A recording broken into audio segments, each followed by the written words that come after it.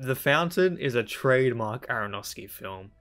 It's a metaphoric, visually stunning film with visuals you haven't seen before, amazing camera shots, and a slightly confusing put together story. However, this film didn't connect with me like his other films do. I got thrown out of the story a lot um, from some of the acting, especially when Hugh Jackman yells specifically, just really threw me out of the movie. this movie has a runtime of 90 minutes, which arguably is the perfect runtime for a film, and you can't really go shorter than it, otherwise, it's not classified as a feature length film.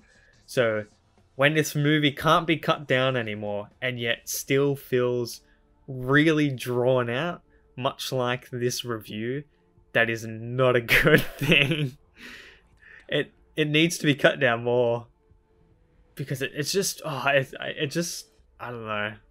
I get that it's a high budget experimental piece that is meant to kind of normalize it in a way that the average film goer could digest, but it just really doesn't work for me. I it's like cutting between all these times. Uh, I just I just didn't get into it.